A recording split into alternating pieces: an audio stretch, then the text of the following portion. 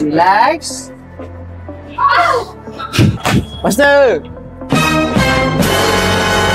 Apa tu kawan? Master, tolong review anak saya. Badan meleka. Banyak telur. Ha, Dewi anak. Badan meleka. Macam itik.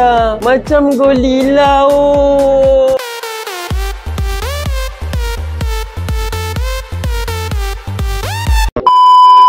Yang kerap berlaku di Malaysia adalah bongkok dan skoliosis.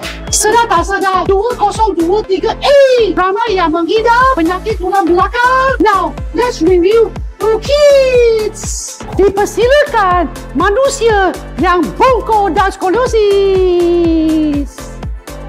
Tulang thoracic T1 to T10 sini 22 degree.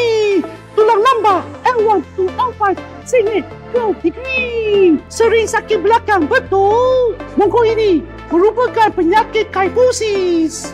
Cakra vertebra nipis. Badan cepat lesu. Betul.